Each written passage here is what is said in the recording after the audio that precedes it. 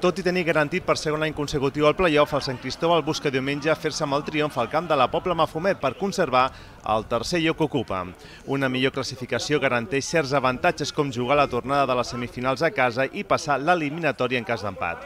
Ha estat una setmana diferent per la plantilla parroquial, assaborint de nou la classificació, però toca activar-se per arribar en forma a un playoff del qual es vol sortir amb una plaça d'ascens. Tenemos que ir a por el tercer puesto y tenemos que ir ahí a Pobla a hacer un buen partido. Tenemos mucho convencimiento en el trabajo que venimos haciendo desde, como te digo, desde principio de pretemporada y bueno, el equipo ha seguido trabajando en la misma línea, hemos seguido una línea muy regular y eso es lo que nos ha hecho estar donde estamos ahora. Entonces este año pues se intentará llegar al objetivo que, que es ascender. ¿no? Els de Dani Andreu s'enfronten a un dels pocs rivals que no juga res en aquesta darrera jornada unificada.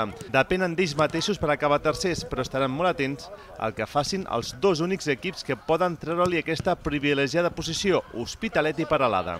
Ens equivocarem si estem pendents dels demés. Ens hem de centrar en nosaltres mateixos i diumenge jo sé que pot passar de tot perquè és un rival molt complicat. Com va demostrar aquí té jugadors de moltíssima qualitat, de molt talent, i, i hi poden guanyar qualsevol. Però el que estic convençut és que l'actitud la, serà la correcta i que, i que si ens volen guanyar de, s'ho hauran de guanyar ells. Hospitalet i Peralada tenen un punt menys que el Sant Cristóbal, però mentre que els riberencs es desplacen al camp d'un Vilafranca que s'està jugant la permanència, els empordanesos juguen a casa davant el Cué, un Sants que ja ha baixat de categoria. Per aquest partit, el tècnic del Sant Cristóbal no podrà comptar amb Gerai, Ricky i Cañete, que han de complir un partit de sanció. Torna, però, el capità Òscar Sierra, després de descansar la passada jornada per acumulació de targetes.